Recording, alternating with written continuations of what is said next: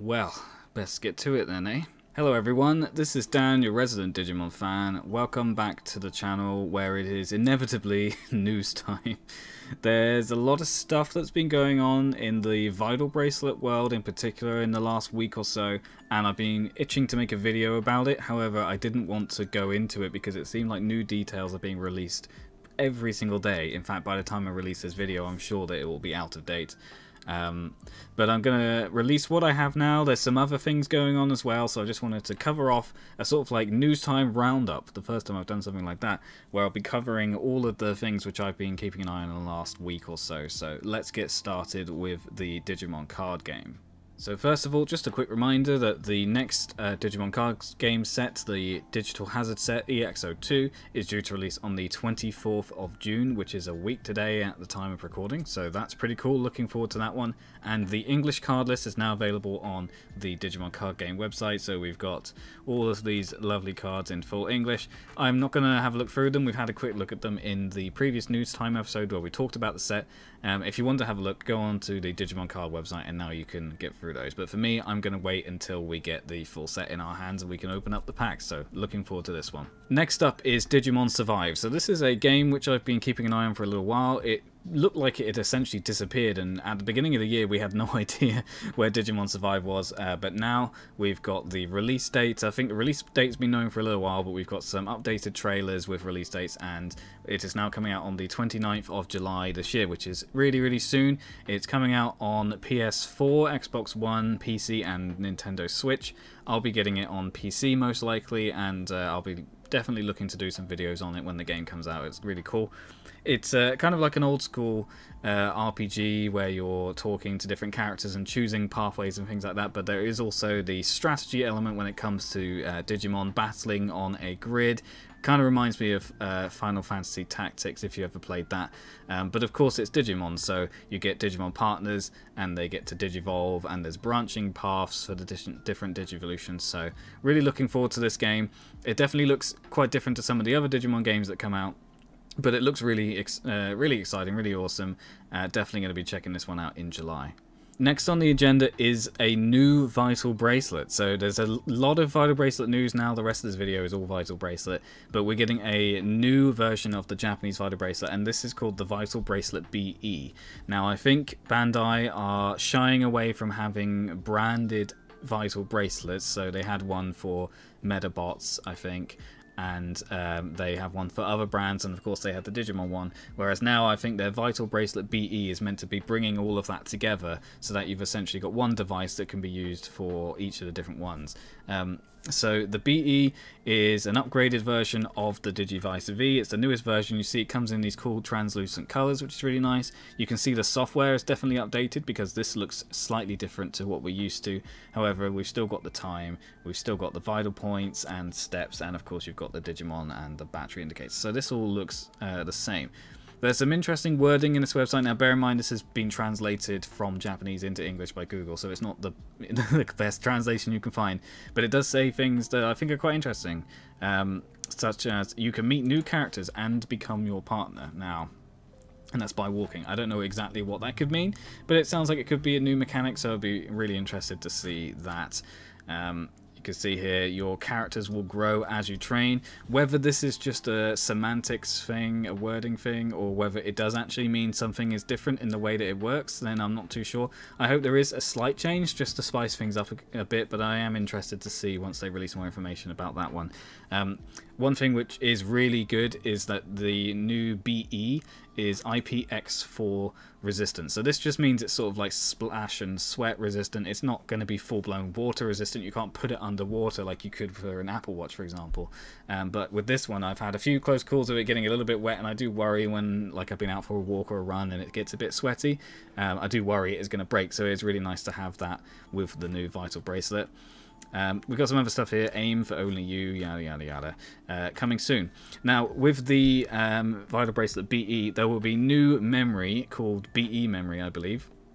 It looks slightly different to the Vital Bracelet memory, uh, to the DIM cards, but they will function in a similar way. You'll be able to have more Digimon on them, and I think Gamamon is one of the uh, dim card lines that they've said will be coming for the BE, so it'll be interesting to see how that works. And they've also confirmed that the current dim cards will work with this. So for all of those like me who've spent a good amount of money on dim cards, do not fear, they will still work on this device. As you can see, we've got some other characters down here. So we've got Devil's Blade, we have My Hero Academia, and Tokyo Revengers. No idea what those are, but you'll be able to have those characters on the BE as well. So it's pretty interesting. If we have a look at the Vital Bracelet series on here, we can see how it compares. So this is the current series. We've got ah, Kamen Rider, Ultraman, and Digimon. Yeah, that's right. So this is just a way for them to have all of these different series come into one place and uh, into one device. So I think it's a smart move, honestly.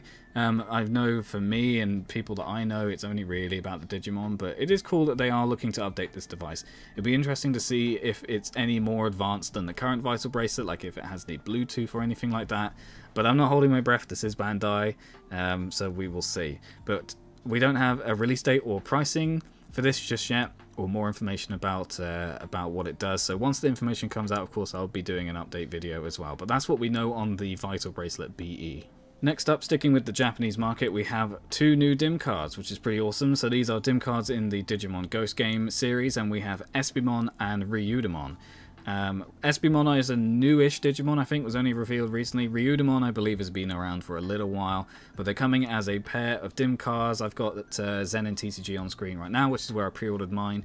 You can also get them on Amazon.jp because they are retail release dim cards, so definitely go and pre-order these before they sell out. $17.99 is a pretty good price. You obviously have to pay shipping to your place, and I believe that in total for me from Zen in TCG it was about 22, 23 pounds, which is it's pretty good price for a, for a brand new set of dim cards. Um, so in these two dim cards, we've got some very interesting uh, Digimon. So again, credit to Humulos for this information, as always. Uh, definitely the best place to get this information from. So once again, just like with the Digimon Frontier DIMs, which are due to come out later in the year, we have two rookie Digimon, and then we've got the same number of uh, Champions, Ultimates, and Megas. A lot of these Digimon I don't actually recognize from the uh, sprites, so it's going to be interesting. I think this one here is Zanbamon, and I think this is Ragnaloardmon. You've got obviously the Zubamon line, um, and then you've got Ryudamon over here. Um, interesting. Musyamon, we've got Asuramon, Dokugamon, who's on the Garurumon dim card, so nothing too new with that. But it looks like we got some pretty cool samurai-themed Digimon on this card, so that's really awesome. If we look at Espimon, we've got uh, this guy here, who I can't remember the name. Is it Ludamon? I think it might be Ludamon. I'll correct myself if I'm wrong. Um, and we've got, let's see, Digitamamon, who is also on Garurumon dim card. We've got Piximon, who's awesome. Piximon is an OG. We've got Reppamon, I think is the name. oh boy. And I think maybe Creepymon, not sure. But other than this, I'm not familiar with these. We've got Ragnaloardmon again, so he appears on both. Whether he, I'm not sure if he's a um, Jogress Digivolution, I don't think he is. Uh, but that's cool. But yeah, so some really different and interesting dim cards, these ones. And they will be coming out in August to September. Um, so I believe it's the end of August in Japan. So really cool. These ones definitely look about uh, picking these up and getting a pre-order in before they sell out. And then finally, the next thing, the big news for the US market, not for the UK market. Ah, is that the Vital Bracelet is officially being localized for the US market. It's officially going to be known as the Vital Hero. So here we can see we have a black Vital Hero with what they call the Pulse City dim card. So instead of Impulse City, it's Pulse City. And you can see it's completely different branding, but it's the very same product. Everything here looks the same. You've got the DM on it, just like you do the original Vital Bracelet. However, this is actually got the software of the Digivice V in it. So it's updated software compared to the Vital Bracelet original. Uh, but of course everything's going to be in English, so the Digimon's names are going to be in English, all of the menus are going to be in English, which is really good. That being said, the Japanese versions don't have that much Japanese text anyway, so I don't think it's too big a deal. I'm not sure if it's been confirmed yet, but I'm fairly sure it's confirmed that you can use your Japanese DIM cards with the um, with the English Vital Hero, it will just mean that everything will be in Japanese on those cards because the what you use on here is essentially the software from the cards. So it's all completely compatible, which is really nice. Um, there's a few different versions of this Vital Hero coming out. We've got the black one here, which comes with Pulse City, which I believe is just a rehash of Impulse City. I don't think there's anything different with it. But then we have two versions with two unique dim cards. We have the blue version, which includes the Wolf Howl dim card. So a bit like we have the Shadow Howl or the True Shadow Howl dim cards in Japan, we have Wolf Howl here, and you can see we've got both Garurumon and Black Garurumon on this card, and that is because it contains both of those lines. It's kind of like a, a best of between the Gabumon dim card and the true Shadow Howl dim cards from Japan. So we'll look at the full list of those in a minute. So the blue one you can get on Amazon.com as well. And then there's a red one which was only recently revealed, which is exclusive to Walmart, I believe, or that's what people believe it's exclusive to Walmart at the moment. And uh, this contains the uh, the Raw, Dinosaur Raw? Yeah, the Dinosaur Raw dim card. And we're on Humulos's uh, website here so we can see what's included in these dim cards. But the Dinosaur Raw dim card exclusive to this red bundle, which currently they believe is exclusive to Walmart. So it'll be interesting to see if that's the case.